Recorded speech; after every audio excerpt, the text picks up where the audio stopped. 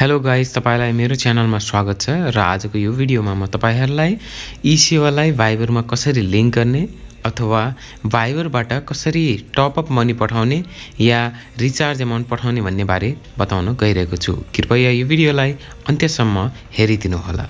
र भिडियो सुरुवात गर्नै जाँदा सबैभन्दा पहिले तपाईँले आफ्नो भाइबर एप खोल्नुहोस्। तपाईँले भाइबर एप खोलिसकेपछि तपाईँले त्यहाँ डिफ्रेन्ट अप्सनहरू देख्नुहुन्छ।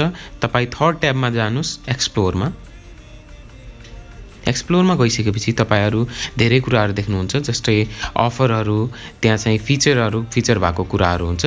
र तल जाँदाखेरि तपाईँले चाहिँ एक्स च्याट विथ बट र अरू स्टिकर प्याकहरू ट्रेन्डिङ कुराहरू देख्न सक्नुहुन्छ। र अब म तपाईँलाई मेन कुरातर्फलाई जान्छु त्यो चाहिँ हाम्रो ई सेवा टपअप हो। भाइबरबाट कसरी पैसा पठाउने भन्ने बारे हो। र यो अफर यहाँ रहेको छ ई सेवा सेन्ड मनी एन्ड टपअप। अब यो कसरी चाहिँ तपाईँले युज गर्न सक्नुहुन्छ त्यो बताउन गइरहेको छु। त्यसको लागि तपाईँले यही फोटोमा क्लिक गर्नुहोला। अब तपाईँले यो क्लिक गरिसकेपछि एउटा नयाँ पेज खुल्छ र यसमा चाहिँ तपाईँलाई कुनै पनि एउटा कन्ट्याक्ट सेलेक्ट गर्न भनेर अप्सन दिन्छ। कुनै पनि एउटा कन्ट्याक्ट सेलेक्ट गर्नुहोस् र ई सेवाको एउटा पेज अटोमेटिकली तपाईँहरूको स्क्रिनमा खुल्छ। अब यसले चाहिँ के भनिरहेको छ भने चाहिँ रजिस्टर योर ई सेवा भाइबर सर्भिस त्यही भएर रजिस्टरमा क्लिक गर्नुहोस्।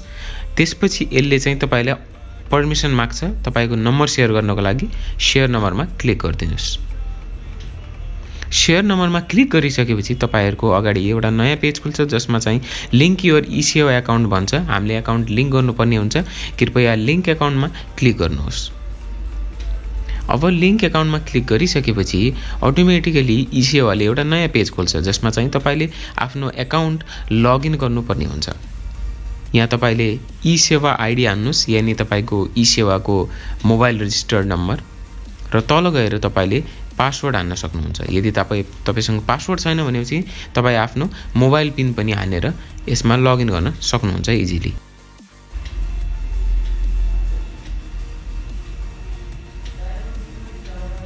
अब फाइनली तपाईँले लगइन गर्नुहोस्। लगइन गरिसकेपछि तपाईँलाई OTP as soon as receive हुन्छ।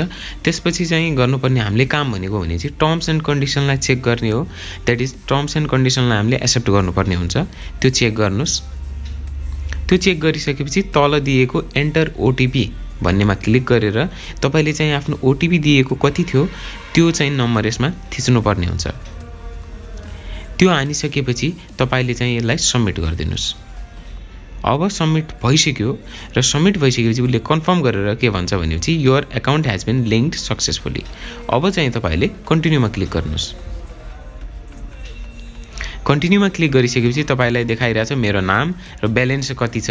र अब दुईवटा अप्सन दिएको छ अहिलेको लागि। दुईवटा अप्सन मात्रै छ हाम्रो। बाँकी अप्सन छैन। त्यो छ टपअप र सेन्ड मनी छ। यदि तपाईँ टपअपमा गर्न चाहनुहुन्छ भने टपअपमा क्लिक गरेर यो स्क्रिन तपाईँको अगाडि आउँछ। त्यो आइसकेपछि तपाईँले देख्न सक्नुहुन्छ सेम वेमा जसरी तपाईँ इसिओबाट पैसा पठाउनुहुन्थ्यो त्यसरी नै भाइबरबाट पनि आफ्नो कन्ट्याक्टलाई डाइरेक्टली तपाईँ यहाँबाट पठाउन सक्नुहुन्छ। त्यसको लागि तपाईँले आफ्नो नम्बर हान्नुहोस् नम्बर हानिसकेपछि एमाउन्ट हान्नुहोस् र प्रोसिडमा जानुहोस्। सेम वेमा तपाईँ पैसा पठाउन सक्नुहुनेछ।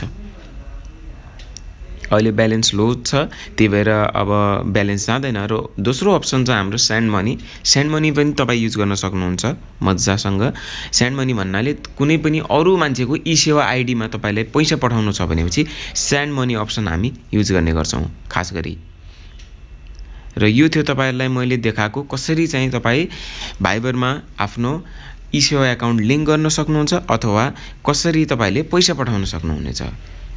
हस् त धन्यवाद। Thank you so much